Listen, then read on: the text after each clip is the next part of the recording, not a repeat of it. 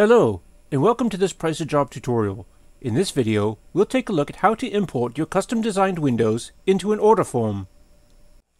Once this quote has been accepted, then we'll want to go here to the left-hand pane and select Orders, and here we can create an order for our windows for the manufacturer. And we do that by clicking the Add Order button. And we could add each window separately by clicking the Add Item button here and typing here manually the full description of each window. But Price Job makes it so much easier than that. All we need to do is click the Import button here, and then go to the Windows tab. And here we see all of the windows that we've already designed. Here's the bedroom window, and the bathroom window, and the hall windows. Now if we want to order all of these, we can just select all. But perhaps we're using a different manufacturer for the bathroom window, in which case we can deselect that one, and now only these two windows will be added to the order form. When we're done, click Import, and these windows, along with all the specifications and measurements and an illustration, are added to the order form.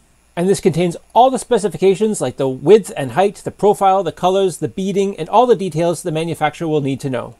When you're done, you can print this order form off as a hard copy, download it to your system as a PDF, or email it directly to the manufacturer right from within Price a Job. And that's how to import items to an order form. Thank you for using Price a Job.